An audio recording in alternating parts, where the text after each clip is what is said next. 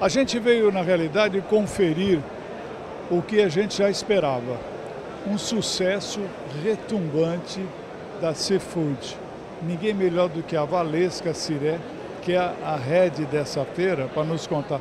Foi um sucesso maravilhoso, Valesca. É isso, a gente está muito feliz, né? É olhar para esses corredores e ver como esse evento se tornou um ponto de encontro é, do segmento de pescado, né? Sejam a indústria, produtores, varejo, é, food service, fornecedores de serviços e produtos. Então, é muito bom, né? A gente está aqui com um coração muito aquecido de poder é, reunir todo mundo e principalmente gerar negócios, né? Eu acho que assim, o foco é esse.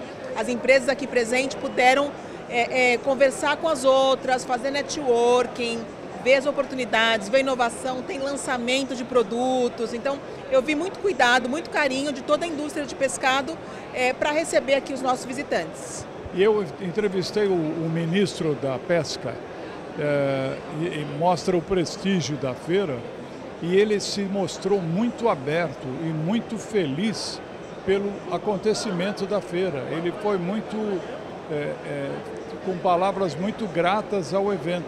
Exato, assim, para nós foi uma honra, né, é, poder ter esse evento prestigiado pelo ministro, uh, por toda a sua equipe. Uh, um setor desse, né, o setor do tamanho da, da, do, do, pescado, precisava realmente ter um ministério, então estamos felizes com essa, com essa materialização né, da, da, da importância do setor e eu acho que a grande mensagem de todas as autoridades que passaram aqui foi de muito diálogo, de abertura. Né?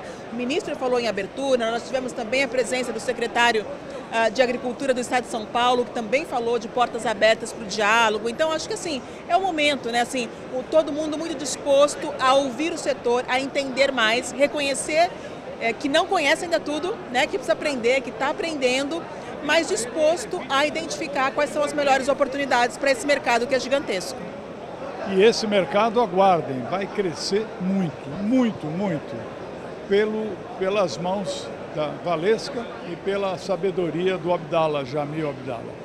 A gente continua. Obrigado, Valesca. Obrigada, eu que agradeço. Muito obrigada a todo mundo que esteve aqui conosco, expositores, visitantes, toda a equipe e que venha 2024. Que venha. Continuamos. Até já.